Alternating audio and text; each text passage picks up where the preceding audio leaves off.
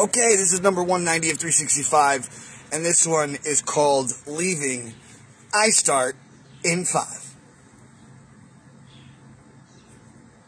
Good morning, good afternoon, and good night. I hope you're doing well, and I hope that wherever you are is doing good for you. It's me, it's Paul Carpenter, and uh, this one's called Leaving. Now, I'm only leaving because I'm leaving this little area that I've been in here in upstate New York, where I got to have some fun and enjoy my uh, time. And I got to really relax. It was really kind of nice to hang out um, and be in nature.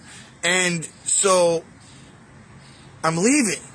And I wanted to make a message about leaving things or places.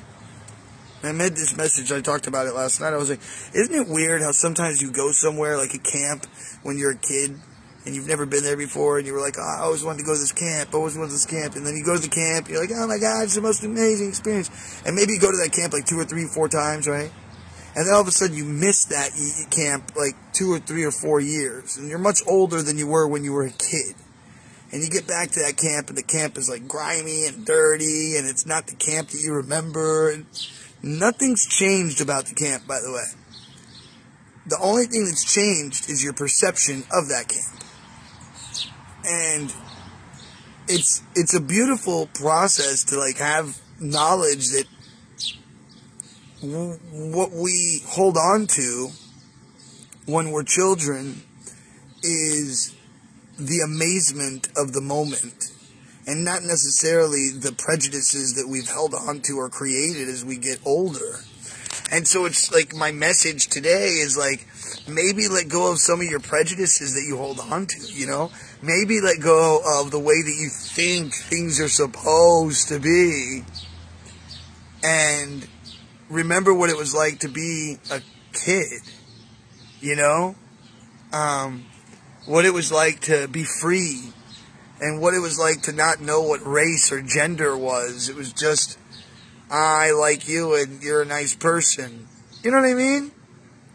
And with that simple little knowledge, my friends, please go out to the world and do something nice for somebody else. And if you can't do something nice for yourself, it does start with you. Number two, don't get caught up in all the crazy stuff. And number three, if you don't mind, please like, share, subscribe. Send this out to somebody who'd like to see it. I hope that you have a beautiful day. You've reached the end of the video, which means, please, if you would not mind, take a deep breath. Breathe in all that good, good, goodness, and...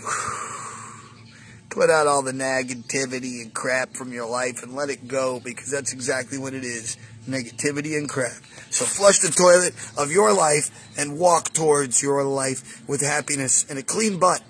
Well, you should wipe before you leave, but whatever. You know what I'm talking about. with that, my friends, I love you. I love you all so very much. I will see you all on the other side. Guess what? We only have 175 more of these, and I've done the whole year. I know it's crazy, right? That's crazy. I love you, and I'll see you all on the other side.